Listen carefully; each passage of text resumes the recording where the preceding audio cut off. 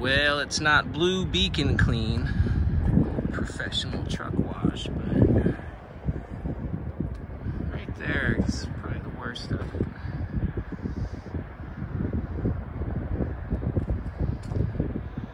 It's definitely better than it was, at least as far as company representation.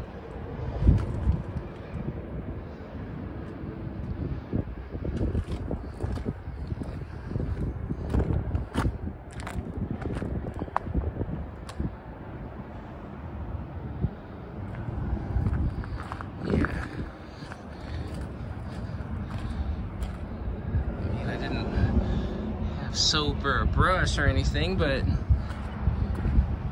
you know, it is better. Had some like permanent bugs on there that I couldn't even get off with the squeegee at the truck stop. Finally got those off. Not bad. Couldn't really get the roof that good, or the top, but anyway, that's all I had was this